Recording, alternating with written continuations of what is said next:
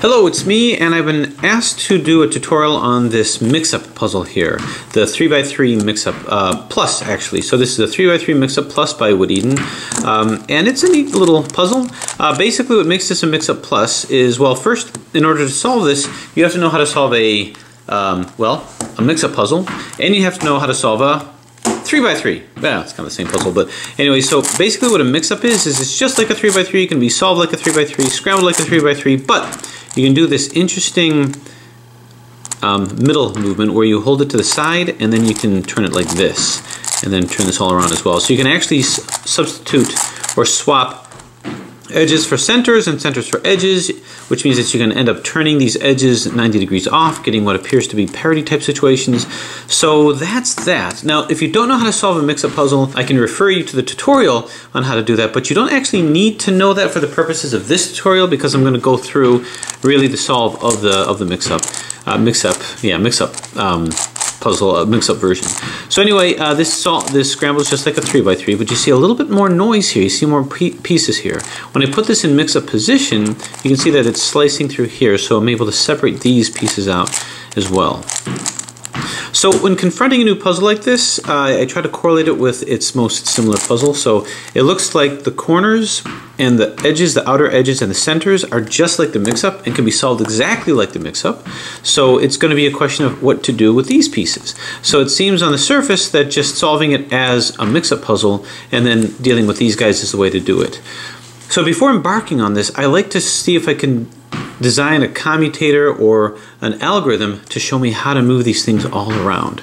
Uh, and the way that I do that is I pick random movements and uh, just like a commutator, like an RU, RIUI, I see if I can isolate a piece, do a middle move, and then do URUI, RI, some kind of a, um, uh, just reverse the previous commutator. So I'm going to do a middle move. So move this up. So this is an M move, and this follows the same a description as L. So this would be an MI. Then we'll do a U. And then we'll do a M. But I'm only going to move it down. I'm not. Uh, I'm not going to move it all the way down. I'm just going to move it down to here. So notice these all stay the same, but this piece here can be isolated. Aha! As soon as I see a piece that can be isolated, then I know that I'm in business because I can do a middle move and substitute this for another piece. So I'll just do a D move over here to put this in place. Then when I undo the original algorithm and move this back, the only thing that'll be affected is this piece, this piece, and one other. So I'm going to move this back, and then we'll just undo what I just did. And that's going to be L, rather MI UI M and then move this back to a D. So we take a look at what we did and you can see that all we did was affect these three pieces. So now I have an algorithm that takes this, moves it to here, this is moved to here, and this is moved to here. Now orientation has to be noted with what happens as well because notice that this did not get flipped. This just shifted over here. So whatever I have in this spot will shift to here. This came here and flipped upside down. So this will go from a normal position to an upside down position and this also flipped upside down. So basically this will come to here and flip upside down. This will come to here and stay the same, the same direction. And this will come to here and flip upside down. So just uh, to, to do it again for practice and to get them back, this should slip to here, this should rotate here, and this should rotate to here. So there's going to be a MI, U, M, then we do a D, and then I reverse it, MI, UI, M, DI. So indeed that's what happened. One more should get this to here, to here, to here. So go MI, U M D M I U I M D I. And there it is. So now that we've defined that, we're going to go ahead and uh, see if we can't scramble this up. So what's the best way of scrambling this? Well, obviously you can start off with a 3x3 scramble, which is not unusual. And I'm going to do a couple of mix-ups, mostly to um, get uh, these scrambled here. So I'm just going to go up like this and then do a 2U. So I'm going to maintain everything in its unmixed up position. And my purpose of this is just to see about scrambling these guys here, lifting them out, to enhance the challenge. Because after all, that's why I bought this puzzle, right? Challenge. Move this up, double turn. So I'm going to continue to do that all around the puzzle. Now I'll say this give a little commentary as I'm doing this. The only issue with this puzzle, it's not really an issue, but something to bear in mind with the strategy that I'm going to use, is you may have to do two 3x3 solves. Now, that's probably not going to be a big issue because if you have this puzzle, you probably know how to do a 3x3 solve, and I lay odds that you can probably do it a whole lot faster than I can or ever will because speed cubing has never been my thing. So if you find yourself having to do two 3x3 solves, it's not a huge deal breaker with the strategy, I don't think. But when doing a mix-up, you might put it in a position of potential parity as you reduce it. And that could cause a lot of chaos and frustration and throwing things around if you have to try to undo what you did. Okay, so that looks pretty good. Most of them have been taken away from their respective places. And now I would just do mix-ups. So I'll do one turn over here. I really like how this puzzle moves. It's very smooth. And by mixing it up, I'm basically putting centers or edges where center should be, centers where edges should be. And I'm going to continue messing this up beyond all recognition. Okay, so the first step is going to be solve it like a mix-up puzzle. To solve it like a mix-up puzzle, it means that uh, we're going to basically first off put our centers in, the proper centers. So I always start off with green, and then I want to do the opposite one, which is blue. If you don't have that memorized, you can do any one of these. But this is just going to be a matter of positioning. I got to get this blue and move it in this position without moving this green one out. So to move it down here, what I can do is bump this out of the way. I'm going to move this up so this green one was taken down, but now I can move this blue into where this yellow orange was because that was opposite the green. Move it in and just remember to bring it down so it's in central position. So this is good and this is good. Then I pick any equatorial type center. In this case, we've got white. So let's correlate white with the blue. Here's the blue on top and the white over here. That means red is next. So here's red. So I'm going to do pretty much the same thing. I'm going to try to put this where this is supposed to be. So move this to the side. And I'm going to move this up like thus. And now I'm going to move this where it's supposed to be. Now, the problem with doing that is this blue one is going to be in the way. So we don't want to do it from, from that perspective. Because when I move this up, this blue one's going to be taken out also. Uh, if I do it here, and I move it up, this orange one will be moved, but we don't really care. So basically this will move up. And this was moved out of the way too but we but that's that's fine. We can easily move that back. So move this in place and move it down. So in that way we've got green blue red and white. Uh, to position it uh, just kind of play with it. If that didn't quite meld uh, with you it uh, it's just kind of a, a matter of doing of positioning. So we've got white red. The next one is what's opposite white which is yellow so find the yellow center, it's over here. Now we want to do the same thing, move it to the side. Then I'm going to move this from center position to edge position because this is in edge position. Make sure I'm not going to disrupt any of my centers around the side that I already have and I don't. So this moves from center position to edge position. I'm going to take this center, which is in edge position, put it in the position over here, then move this back to center position. So we've got this is in, this is in, this is in, this is in, this is in. We have one more to go. Uh, and that's going to be the orange. Here's the orange. So how am I going to get this back in? Well, we can say the same thing. This is in edge position. We can move this in edge position, but that'll knock that out. So every layer or every angle that we look at this, we're going to knock a center out. So the way that we're going to do this is we're going to actually do an algorithm to move this, if this is in edge position and this is in center position, if I move this just to the side, notice this is in edge position and what was in center position is now in edge position. So all I have to do is the beginner's technique of moving this to here as I would a middle layer and then we simply move this back and you'll find that this will be in the center uh, this will be in the center position. Um, I'm not going to affect any, I'm going to affect these edges as well, but we don't really care because we haven't done them yet. So we do the algorithm, whoop, U, R, UI, RI, UI, FI, U, F, then we simply move this back into center position and you'll find that all of the centers are now in. So the first hurdle in your sequential solve is done. Okay, the next thing to do is let's get these edges. So all edges are in edge positions and all centers are in center positions. We're unmixing it up, so to speak.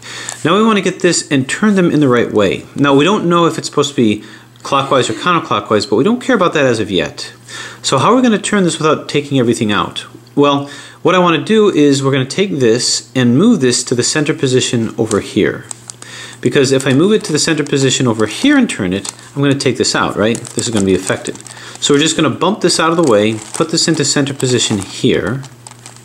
And all that did was put this into another center position. This is not touched. And I'm just going to rotate it once, splat. I'm not going to give an algorithm to it because you can easily see the setup. Move this back into this position here, this center position, and this goes right up to edge position. So that, in essence, turn that, um, up, turn that by 90 degrees. Same thing here. Take this, move it from edge position to the center position just below it. To get it away from here, move it to the center position just to the right or the left. These won't be affected. And nothing from this plane. I basically had to take it out of this plane. Then I turn this 90 degrees. Move it back to center position, up to edge position, and that's in. Um, now you can have any number of those, but it's really done the same way. Move it to center position, move it just to the right center position, turn it 90 degrees, move it back, move it up and you're good. So basically you took it, if this were a mix-up cube, it would be like this. Not solved, but it would be like this. Now here's the thing. You could start the process of reducing these using the algorithm, but you might have this in, an, in a wrong rotation, so you'd end up with a parity. If you solve it and it's in a parity situation, you're going to end up taking these out. So we have to see if these are in the right configuration. Now you could have tried to look at that as you were putting it in, but um, it doesn't work completely. So anyway, I'm going to start off by doing a 3 by 3 solve. And I'm just putting these edges in. I'm doing my cross, cross over here, not the inner edges, but the outer edges. And I just want to see if I end up in a parity type situation. So here is this here. Basically, I'm not doing anything earth-shattering. I'm just getting the cross over here. this is upside down. All right, so you can see I, I have the cross. And now I slide in I slide in the corners. I told you I was slow. This is going to come over to here, moving in my corners the way that I do.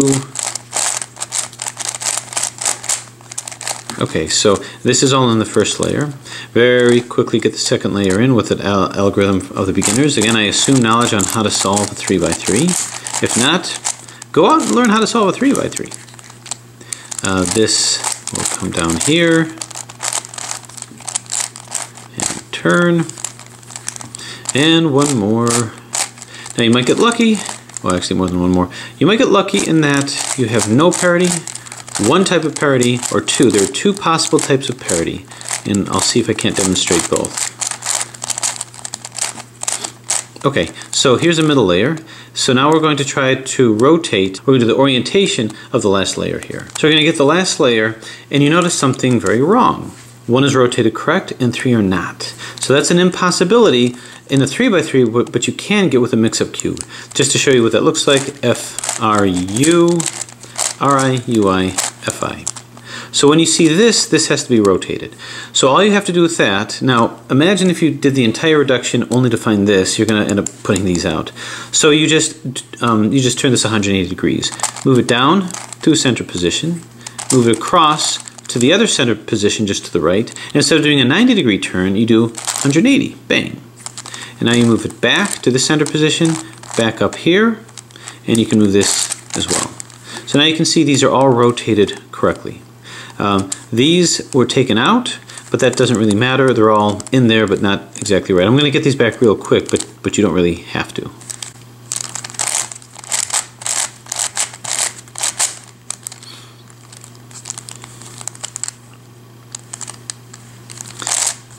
to U, to R, to U, to R, to. Okay, so these are all back. Now that we have this, the question is, do we have another kind of a parity, which appears to be a corner parity, but it actually isn't, it's another edge parity. Uh, so I'm going to go ahead and rotate all of these in using 3x3 techniques. Okay, so these are all rotated correctly. Now I'm going to get my corners in. None of these corners are aligned, so I'm going to do a corner swap. 2RU, 2RUI, 2R. Again, this is 3x3 strategy. I'm just doing a 3x3 solve. You can do it any way you want. These two corners are in, so I'm going to do another corner swap. 2RU, 2R UI 2R, 2R UI 2RU, 2R. Okay, so these corners are in, so you're doing your, your 3x3 solve. You see this is in, this is in, and up, these two are not in. So if I try to do an adjacent edge swap, these are going to be swapped. Now, I can already tell I'm probably going to get some questions because you're going to find that you're going to try to put these in and they're all going to be in, but you're going to have two corners that need to be swapped but can't be. And the question is, why is that? How do I fix it? Well, the problem is not the corners that are having the parity. Solve for the corners, you're going to see it's the edges that actually have the parity. So here's the situation that you might get. Now understand, this is one parity situation that you're going to get where two edges have to be swapped. I can swap those, but it's going to swap these. But here's what it might look like when you try to solve it um, in this position. It might look like this. So you go through your solve, and you see you've got all these edges in you got you got your cross first. You're getting your corners in. These two are in but these two are not. So you might end up approaching the parity like this where this corner the red white and blue belongs here and this one the orange white and blue belongs here. So if that happens what do you do? Well the issue is not these two. So what I would do at this point is I would go ahead and solve for the corners. Do an adjacent corner swap. Don't worry about the edges yet 2R U, 2R UI, 2R, UID, 2R UI, 2R U, 2R. So you're going to find that's going to put these in, but you're going to uncover that parity that we were talking about, that these two are an, are an issue. So what I would say is when you get that, make it to where the two edges that are out are right next to each other, that they're adjacent. You don't want them opposite like this. So what I'm going to do is I'm going to go ahead and solve, the, solve this, 2R to U, 2R to U, 2R to U. It's an adjacent edge swap that created misplacement over here, put the parity here. Now I'm going to do, I'm sorry, that was an opposite edge swap. Do an adjacent edge swap, which will get this back. 2RU, 2RU, 2R to U, 2R to U, 2RU, 2R, UI, 2R. Okay, so now you have it in the configuration that you want. This and this are out. Now here's the fix that you're going to do with this. I'm not going to get into too much details why it works. It works because basically you're swapping the middles and the corners at the same time, sort of. But hold it to where you have the ones that are out in the top right and the back right. So on the right side, it's on the up side, uh, the top right and the back right. And what you're going to be doing is you're going to be doing a commutator which rotates this around, but you're going by but you're going to by 60 degree increments basically. Um, so what you're going to do first is you're going to do RIU, RUI. Pretty easy to remember. And you're going to take this layer over here, I think that's called the E layer, and just move it down by one click until you can get it into mix-up position. Then you just reverse what you did, which is U RI, UI, R. And now you keep doing that all around the puzzle. So you then go ahead and do another 60 degree click, do it again. R-I-U, R-U-I, click it down here and do and just undo what you did. U-R-I-U-I-R. You keep doing that 10 times I believe. Turn, turn, turn, turn, and again, turn, turn, turn, turn, undoing it. Move it again. R-I-U, R-U-I, turn it again. U-R-I-U-I-R, and again, whoops, whoop, don't lose track. Turn, turn, turn, turn, and again. Turn, turn, turn, turn. And if you do it 10 times, you'll find it's going to put them all back in. So that's kind of the mix-up trick. That's the, the main trick to the mix-up puzzle. So you have your 3x3 solved, but that was your first 3x3 solve. If you want, you can keep it into this position, but the whole purpose of doing this is to get it out of any parity situation so you're not in any danger. I prefer to not keep it in, the, in this position, but you can just kind of for the challenge. Because now it's just a matter of doing my positioning, because this to here, this to here, this to here. So, so far right off the bat, I know that this will come to here and flip, so that's going to be good. So we want this to be over here, so that's pretty good. This white one will come to here and it'll also flip, so that's going to be good. So I'm going to put two in. This will slide into here, but um, and not be in, but that's okay. So the blue one and the white one should be done. So we'll do our algorithm.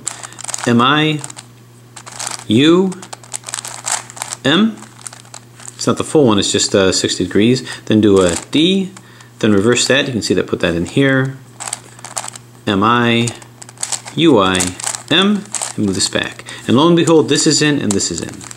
Um, now you can take some other opportunities and see see what you've got, but you're going to be moving it all around. So this will come to here, but will be flipped wrong.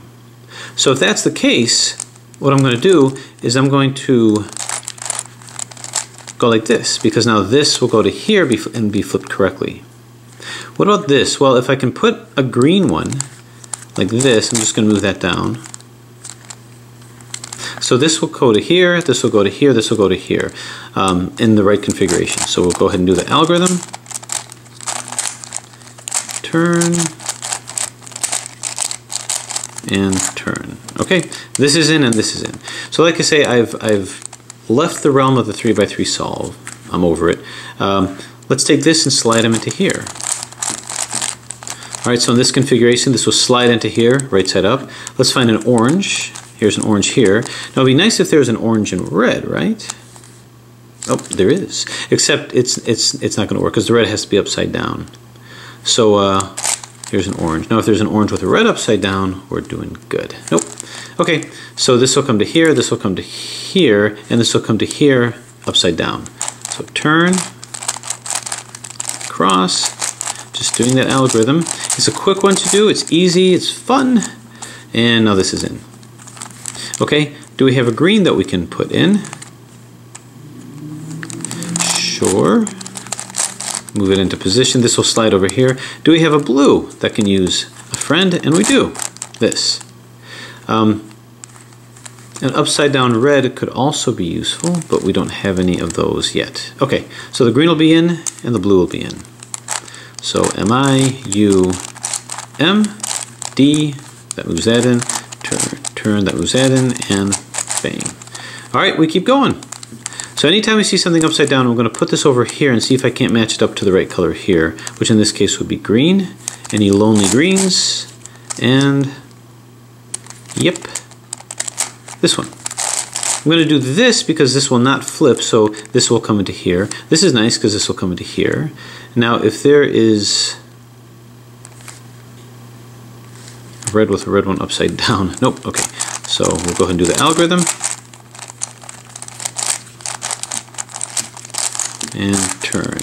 Okay, so you can see we're getting more and more what we need. Okay, so this is going to be placed in this position because it's upside down. Find a lonely yellow, which is here. Find an errant white, which is here. So I'm going to take this white and move this down to here. Okay, so at the end of the day, this white will be solved. This will come to here but be upside down. This will come to here and be fine. Turn and boom. Okay, uh, I'm going to move this into this position. So we'll find an orange one. Okay, this will go to here. Do we have a blue that can use some help? Yep. Okay, this will go here and this will be replaced by a red one here. So like I say, it's a fast and fun little commutator. Boom, and we're good.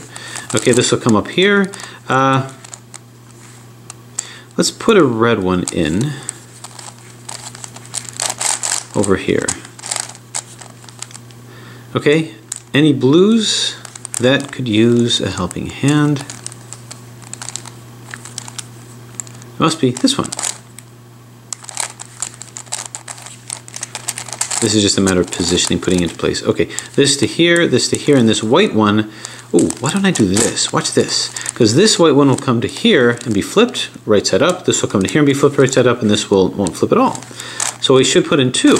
Put it up here, down, this is in, and down, across, this is in, up, across, this is in, and down. Probably made a lot of progress with that one. Okay, this will go to a red space. How about here? Well, yeah. How about here? Because then I can move this in to here. So I kind of get all my reds back.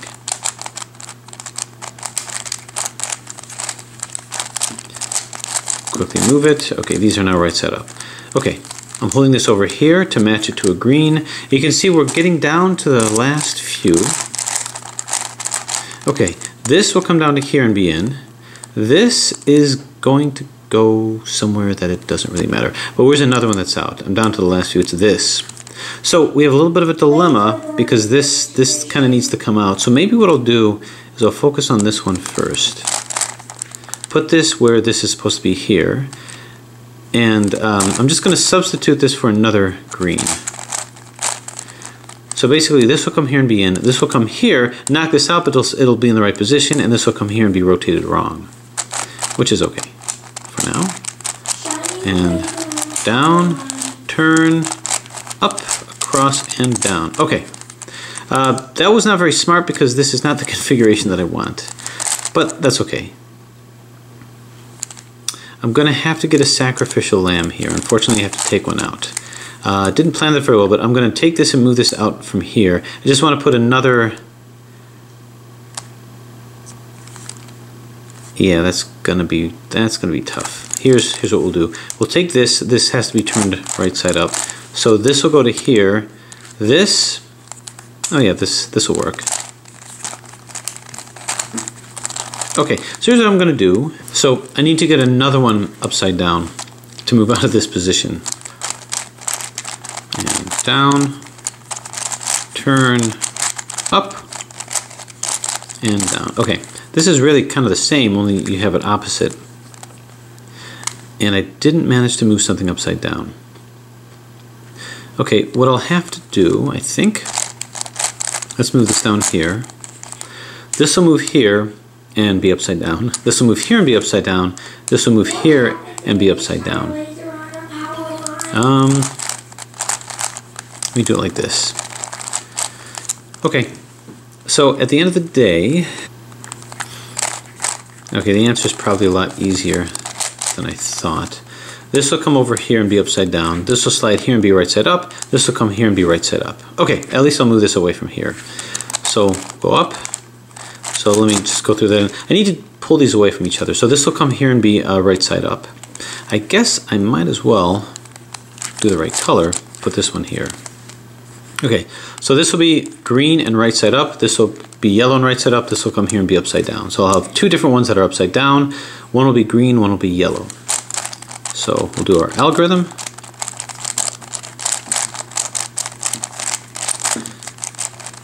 Turn and up turn and down, bang. Okay, so that was pretty good. Move those away from there. So this will move into a green one. We'll say here.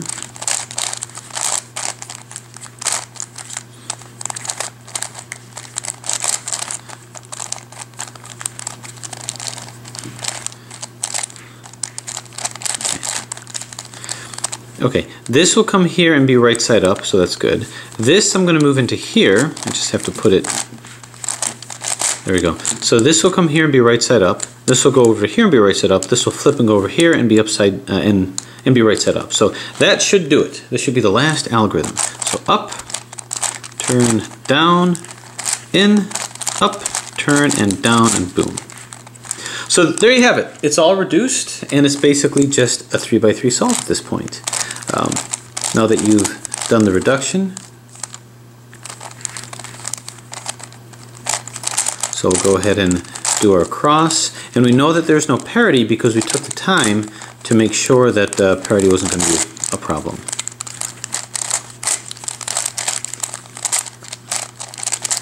Turn and turn. The puzzle feels like it might pop, but the quality is actually very good. I have yet to have it pop despite all the punishment that I've put through it, And I've put these puzzles through a lot of punishment.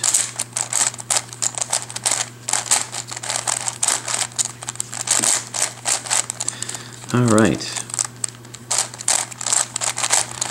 Move this in here. And do my slow and laboring beginner's method. How many years can I be a beginner? A lot. So that's the middle layer. You can see no parity here. F R U R I U I F I. And now we can finish our cross. We'll do it this way. R2U, RI. I'll put the corners in first. Less motion that way. Rotate all the corners up. Once they're rotated up, do my corner swap. Turn, and now you can see that there's no parity because I've got these that have to be swapped here. 2R, 2U, 2R, 2U, 2R, 2U to RU, to RU, to R, to U, to R, to U. And there you have it. So, Mix-Up Plus is done. It's a neat little puzzle. Basically, it takes the concept of the mix-up puzzle and just adds a reductive step, which you could easily reduce. How to reduce it based on making a very simple commutator that does a three cycle. Uh, so basically, your classic strategies in solving more complex puzzles. Um, more types of variants of this in the future. Thanks for watching.